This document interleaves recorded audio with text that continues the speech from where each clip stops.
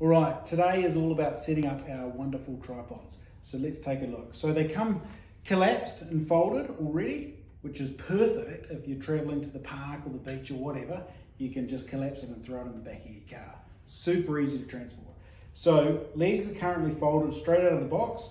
You want to open the legs, splay them out as far as I can and rest that center pole down, tighten tighten that knob at the, at the base and now your complete platform is already set.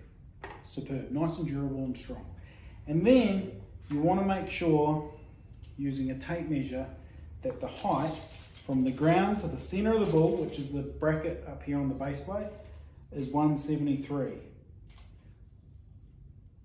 Okay, so we can adjust that later, but that gives you an idea. Make sure that's perfect from the ground to the center of the bull 1.73 meters. Once you've got that set up, you simply grab your dartboard, rest it in here on the base plate on the tripod, use the screw, the main screw from the center of the board, and fix it from behind of the plate into that center of the board. And then you're done. You've got two holes down the bottom here where you can apply two smaller screws just to keep that board nice and stable so it won't move around. But What's superb about this is once the board is fixed, you can then apply a surround around the board as well.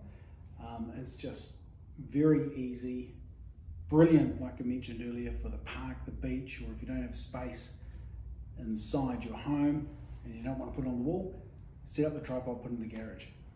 Measuring the oche line where you're throwing is from the center of the pole back 2.37 meters and that's where you're throwing. And that's as easy as that, setting up the tripod.